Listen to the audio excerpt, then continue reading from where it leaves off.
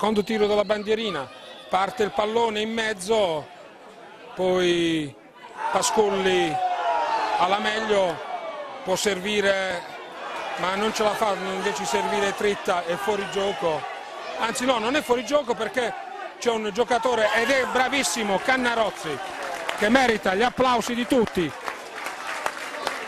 Grandissimo veramente il gesto che ha fatto Cannarozzi al quattordicesimo che avrebbe potuto insaccare.